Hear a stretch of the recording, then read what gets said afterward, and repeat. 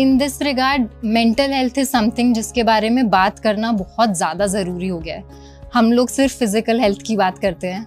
बहुत कम लोग हैं जो मेंटल हेल्थ को समझ पाते हैं। उससे भी कम लोग हैं जो मेंटल हेल्थ को ट्रीट कर पाते हैं काउंसलिंग ले पाते हैं। तो ये बहुत ज़रूरी है that we open up we speak we discuss we talk we communicate जो भी प्रॉब्लम्स हम फेस कर रहे हैं। Because life is very very precious I believe चाहे कितनी भी प्रॉब्लम्स हो लाइफ एंड करना तो कभी भी सॉल्यूशन नहीं है।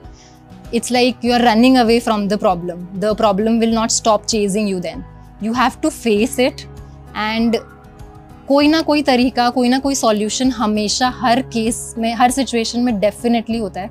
बस वही है that we have to find that positive ray of light and we'll cross the tunnel of darkness you know हम प्रॉब्लम्स को देखते हैं कि कोई प्रॉब्लम आई और हमने बहुत नर्वसनेस और एंगजाइटी में वो प्रॉब्लम को देखा।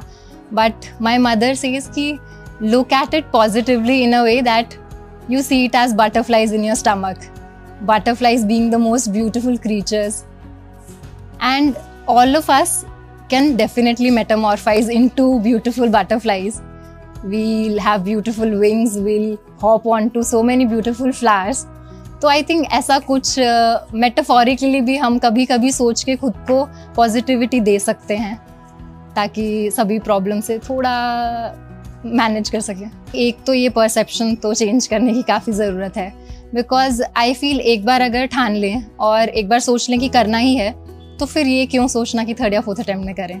हमेशा एम तो हम हाईएस्ट के लिए करेंगे ना you know we'll aim for perfection so at least we'll reach excellence and तो dream big dream for AIR one I would say सबको। तो बाकी फिर जो मिलेगा, उसको हम्बली हम एक्सेप्ट करेंगे।